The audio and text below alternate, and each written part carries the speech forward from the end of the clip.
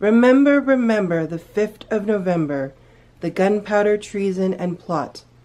I know of no reason why the gunpowder treason should ever be forgot and it is warm under there. Hey everybody, welcome back to another video. I am back with a very special video as you can tell because I've busted out the cape and the special effects, aka my candle, and managed to actually not start a fire because I am here with a very special cover reveal and announcement for an author I am super excited for. And yes, it has something to do with the gunpowder plot. If any of you recognize the line from that little bit of a poem I recited at the beginning, it's actually an Old English folk poem, but it was made more popular recently by the movie V for Vendetta, which I actually do not recommend. There's a lot of really harsh content in there. But that is a poem about the Catholic Guy Fawkes who tried to assassinate the Protestant rulers at the time by blowing up Parliament, called the Gunpowder Plot. So I'm here today for a special cover reveal for the book Fawkes by Nadine Brandes. And this is her upcoming book. It is out July 10th. I am so excited for it. I am totally pre-ordering it and getting myself a copy for this. I really enjoyed Nadine's A Time to Die series. I've only read the first two books. I'm waiting to actually have a physical copy of the third book to continue that series. But the way she writes worlds and characters just makes me so excited for her latest release.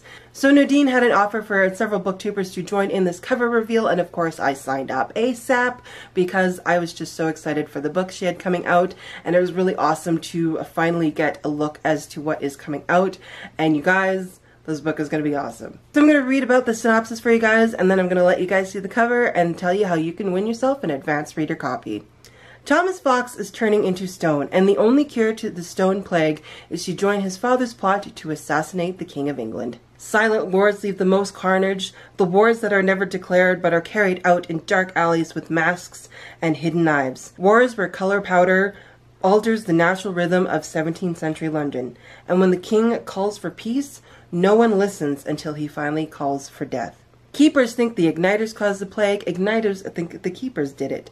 But all Thomas knows is that the stone plague infecting his eye is spreading, and if he doesn't do something soon, he will be a lifeless statue. So when his keeper father, Guy Fawkes, invites him to join the gunpowder plot, claiming it will put an end to the plague, Thomas is in. The plan? Use 36 barrels of gunpowder to blow up the igniter King James. The problem? Doing so will destroy the family of the girl Thomas loves. But backing out of the plot will send his father and other plotters to the gallows. To save one, Thomas will lose the other. No matter Thomas's choice, one thing is clear.